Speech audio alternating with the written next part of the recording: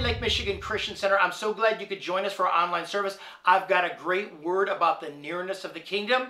But before we get to that, we've got an online meet and greet. Can you do me a favor? Send links out to everyone you know. Let's get them involved. Let's get them watching our online service. All right, I'll see you on the other side of the meet and greet.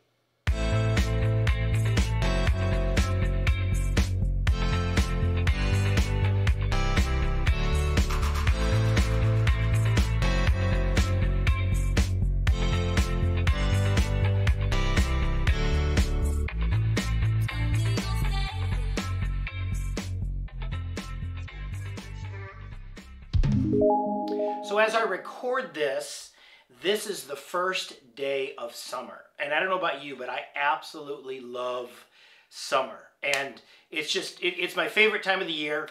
Uh, some people love winter, some people love fall. There's just something about summer that brings back so many, I guess for me, a lot of youthful memories. Uh, one of the fondest memories I ever had growing up was going up north near Ludington, Michigan, camping and I can remember times swimming with my, my cousins and my brother and and and there was a pop stand and there was a snack bar and there was you know we could buy candy and pop and all that kind of stuff. And we would you know roast uh, marshmallows at night and just we did it was just a lot of fun. And, and I just remember that every single summer especially when we get close to the 4th of July which is about the time we go camping and every anytime I smell a campfire it just evokes memories that come back. And you know, you think about summer.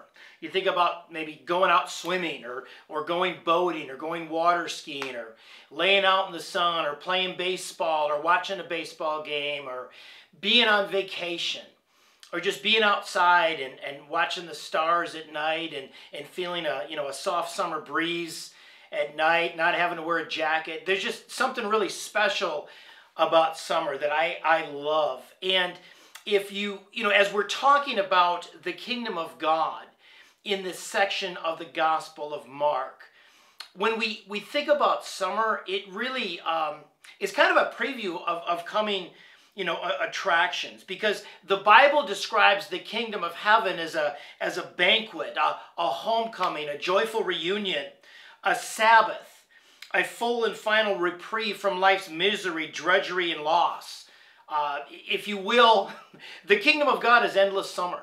You know, the Bible tells us very clearly in Revelation chapter 21 and 22 that a new heavens and a new earth is coming where there is no more sorrow and there's no more pain and there's no more sickness and there's no more getting old and there's no more being overweight and there's no more, you know, uh, uh, suffering the loss of loved ones. I mean, it's just an incredible, incredible experience. And, uh, you know, if you will, uh, summer is bestowing, uh, is, is God's bestowal of a sense of the kingdom.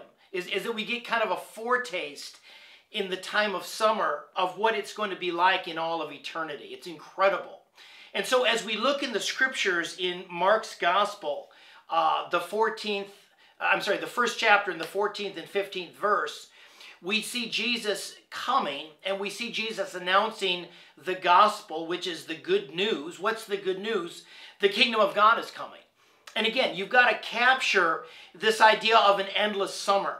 You know, a time of incredible joy and bliss and, and lightheartedness um, and, and freedom from worry and freedom from care. Think of, you know, a, a great summer vacation. That's, that's kind of a glimpse of the kingdom of God. So it really is good news. And we're going to talk about it a little more fully this morning. So let's read the scripture here in Mark's uh, Gospel, the first chapter, verses 14 and 15. It says that after John was put in prison, Jesus went into Galilee proclaiming the good news of God. The time has come, he said. The kingdom of God is near. Repent and believe the good news. And so Jesus said that the kingdom of God is near. And, and, and there's a kingdom that, that, that is coming with his arrival. But here's the challenge as we think of the kingdom, we think of God's rule on this earth. We think of the, the complete removal of sin and, and, and the devil and demonic oppression and sickness and sorrow and pain and worry and fear and man's inhumanity to man. Okay, what does that exactly mean? Because Jesus said it was near 2,000 years ago. And as we look at this, it's important for us to recognize that the church traditionally, over the last 2,000 years, have actually had five different ways of looking at and perceiving what Jesus said when he said, the kingdom of God is near. So I want to talk about that uh, this morning, okay? And, and so when we understand the kingdom, the kingdom is kind of what we would call a shalom moment, okay? A moment where something new is taking place, that God is renewing sinful humanity and creation, that, that God has come to offer power to the human race for spiritual, moral, and bodily redemption. So it really is good news. But traditionally, again, five different views of what the kingdom is all about. The first view, and this was the view of the first century uh, Jewish Christians, is that the kingdom of God was going to be purely political. In other words, the Jewish people were chafing under the brutal rule of their Roman overlords. And so much as, if you will, Donald Trump, uh, when he ran for, for president, you know, his slogan was "Make America Great Again." If you want to think of the kingdom of God coming in a spirit, in, you know, in a political way, it would be like make Israel great again. Is that Israel had been under the thumb of the Romans for hundreds of years, and so they wanted to kind of get get throw that yoke off and achieve their own political rule. So the Roman overlords were not bringing idolatry into Ju- you know Judaism and and all those types of things. They didn't want any of that, and so they wanted. So, so when they heard when they heard Jesus say the kingdom is near, they're thinking, oh my gosh, we're going to be delivered from this Roman rule. We're going to have a, a form of political deliverance in the form of the Davidic, you know, Messiah that has come. But of course, that didn't happen, right? At least not in the way they thought. A second viewpoint of the idea of the kingdom of God is near is that we've reached the end of history, that there's like a final judgment and an end of history that is occurring. In other words, they thought that judgment was immediate and was going to come right then and there. Now, how did they get that? Where did they get these ideas from? Well, if you look at Mark's Gospel, chapter 9, verse 1, Jesus said, I tell you the truth, some who are standing here will not taste death before they see the kingdom of God coming with power. And so, when Jesus made statements like that, people thought uh, in the first century for sure that the kingdom was coming right then and there and that God was going to judge all of the wickedness of the world. All right, a third interpretation of the kingdom of God is near is what theologians call realized eschatology. And that's this idea that the God's promised rule is coming now. The kingdom is coming right now. Okay, now why did they think that? Well, there's a couple of things that Jesus said that led them to this conclusion. If you look at Luke's gospel, Luke 11, verse 20, Jesus said this But if I drive out demons by the finger of God, then the, thing, then the kingdom of God has now come to you. And in Matthew 13, verse 16 and 17, Jesus said this But blessed are your eyes because they see, and your ears because they hear. For I tell you the truth that many prophets and righteous men longed to see what you see, but did not see it, and to hear what you hear, but do not hear it. So it's this idea of the, of the kingdom of God coming right now. And even in our day and age, there is a kingdom now theology, in particular within charismatic circles. And you'll see this in the New Apostolic Movement, uh, if you're familiar with that. This idea that we can usher in the kingdom of God and become the, the revealed sons of God now, and we can take dominion over the world now for God. Okay, before Jesus returns. Okay, which is a which is an aberrant uh, strain of eschatology. But but it's similar to this idea that the kingdom of God is going to come right away. Now these three interpretations, okay, we we can see fairly clearly at least I can see them fairly clearly that, that they're not accurate, right? That, that's not exact, that's not what happened. That's not what Jesus meant when he said the kingdom of God is near. But the next two that we're going to talk about probably hit closer to home for many of us. Okay, the fourth interpretation of Jesus said, hey, the kingdom of God is near, repent.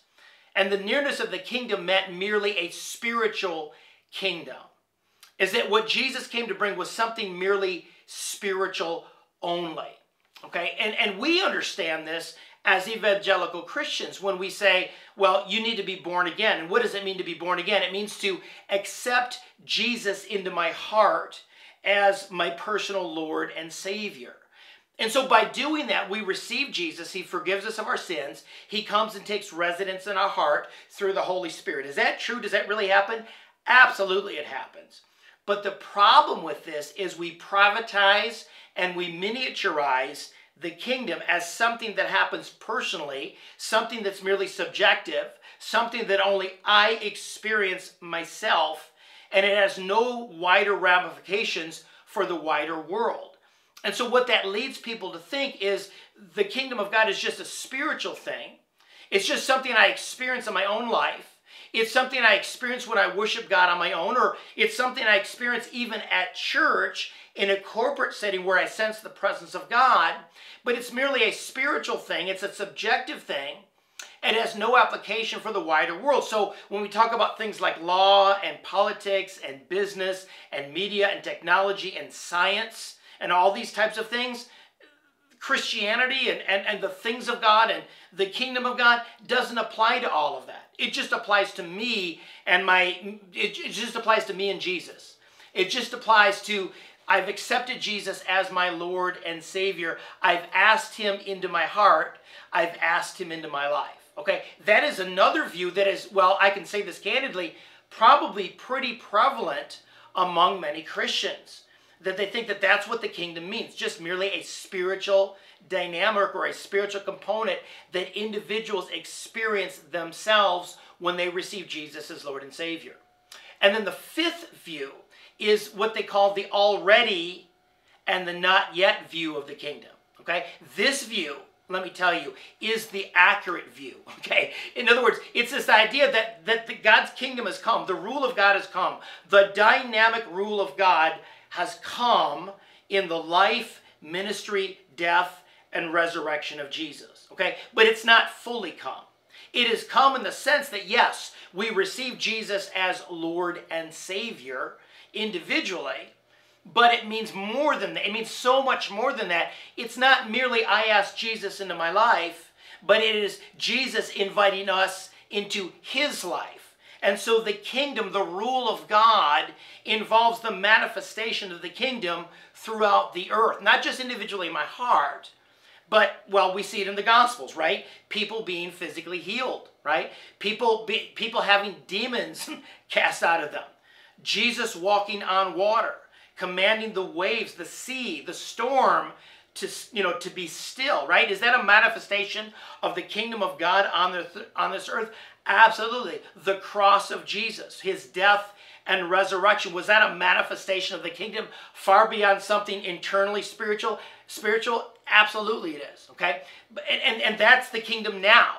Okay? But it's it's the already, it's the manifestation of it now. And we as followers of Jesus can pray for the sick and we can see them recover. And we as followers of Jesus can lead people to Jesus and that they would accept Jesus as their Lord and Savior, but they would also, uh, you know, walk in the kingdom of God now. We can help people experience miracles, the presence of God, the manifestation of the Holy Spirit on this earth, and yet the fullness of God's redemption of all creation, the fullness of God's redemption of, of the human body is for the not yet. It, it, it's when Jesus comes and returns and we have a new heavens and a new earth. So, this idea of the kingdom near, the kingdom of God is near, is something that's happening now, but its fullness is for the future. Again, if you read Revelation 21 and 22, you'll read all about a new heavens and a new earth.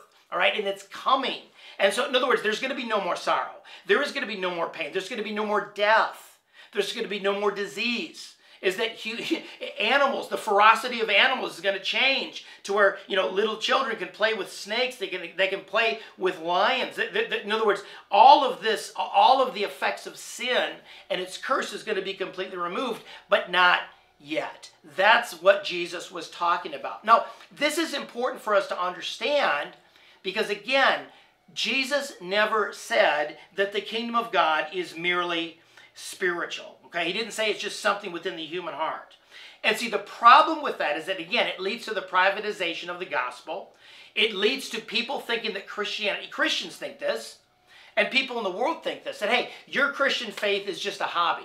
Do it on Sundays, but don't you dare bring it into the workforce. Don't you dare bring it into the office on Thursday afternoon at 2 o'clock. Don't you dare bring Jesus into the courtroom. Don't you dare bring Jesus into the public schools or into the law courts or something like that, right? Is that, again, if, if the kingdom of God is something merely spiritual, we can kind of cordon off Christians and Christianity and its impact into a private subjective sphere that has no wider relevance for the rest of the world. And see, the issue is this it's not the kingdom that enters the believer, but it's the believer that enters into Christ's kingdom through repentance and submitting into the kingdom. In other words, the kingdom of God is much bigger than we realize. Or let me say it another way Jesus didn't come to save us from being human, Jesus saved us so that we would be fully human again. Let me say that again because that's really good. That's from a book called A Practical Guide to Culture by John Stonestreet and Brett Kunkle. Christ didn't save us from being human, He saved us so that we would be fully human again. So this is this idea of yes, receiving Jesus as your Lord, but you are you're walking into his kingdom. Jesus invites you into his kingdom. Jesus invites you into what it means to be human fully in right relationship with God, loving God with all your heart, but loving other people, having your heart changed so that you can be fully human again. Again, this idea is captured really, really well in the book Evangelical is Not Enough by Thomas Howard. I love this. This captures this idea of, of entering into Christ's kingdom, okay? It says this it says, The incarnation takes all that properly belongs to our humanity and delivers it back to us redeemed. All of our inclinations and appetites and capacities and yearnings and proclivities are purified and gathered up and glorified by Christ. He did not come to thin out human life, He came to set it free all the dancing and feasting and processing and singing and building and sculpting and baking and merrymaking that belong to us and that were stolen away into the service of false gods are returned to us in the gospel. That, my friends, is what the kingdom of God is near means. Yes, there's a coming kingdom, right? Where God's going to make everything new and he's going to make all the wrongs right and all the injustices uh, you know is going to be rectified. But right now we can enter into that kingdom and we can be fully human serving god in our vocation serving god as moms and dads and, and you know as, as baseball coaches and engineers and, and, and co-workers in whatever capacity and sphere you're in bringing that kingdom with us wherever we go. Time doesn't permit me to talk about the influence of Christianity on the Western world, our system of justice, our system of rights, our system of dignity, our system of toleration, our love towards others, our care for the marginalized. All of that came about. All of that are the fruits of the Christian worldview. They're the fruits of the kingdom of God manifesting itself on this earth the, the, the blessings of liberty are ours because of Jesus. So as I close, all of this begs a question for all of us. Because again, summer is a foretaste of the kingdom. If you're loving summer and you're loving the freedom of summer and all the blessings that are around us in the summertime, all of the life and the fruitfulness that's going on, it's a foretaste of the kingdom. A great question for me And a great question for you in light of this is since the kingdom of God is near, how much of it have you experienced? If Jesus invites us into his kingdom, says, Come on, come on into the kingdom, how far have you gone? A couple feet? 100 feet? Several miles? Right? What is, in other words, what is keeping you from going all out for God? What is keeping you from going full out into the kingdom of God? Expecting miracles, expecting breakthroughs, expecting healings, expecting God to move in the political sphere and in the legal sphere and in the educational sphere and in the technological sphere. And I can go on and on and on. In other words, if it's true, if the kingdom of God is truly here, we should be walking in it and we should be bringing it with us wherever we go. That's my that, that's my prayer for my life and that's my prayer for your life. As I close with this scripture, it's in Ephesians chapter 3 verses 17 through 19 in the message paraphrase. And I ask him that with feet with both feet planted firmly in love, you'll be able to take in with all Christians the, extra- the extravagant dimensions of Christ's love. Reach out and experience the breadth. Test its length. Plumb its depths. Rise to its heights. Live full lives, full in the fullness of God. Jesus said, Listen, repent, for the kingdom of God is near the Apostle Paul says, hey, in light of that, why don't you explore it? Why don't you go into it more deeply? Why don't you bring the kingdom into your marriage more fully? Why don't you bring the kingdom into your parenting more fully? Why don't you bring the kingdom and Christ's rule where you work, in your family, in your neighborhood, in your grocery store, whatever you're doing? Let the kingdom of God come. Let God's will be done. Enter into that kingdom and bring others along with you into that kingdom. That's the word of the Lord for today. That's what we're talking about when Jesus said, The kingdom of God is near. Let's pray. Father God, I thank you for your word and the idea of the kingdom of God as endless summer and all of the joys and incredible memories that maybe many of us have about summer. That's just a foretaste. That's just a glimpse of what God has for us in the kingdom.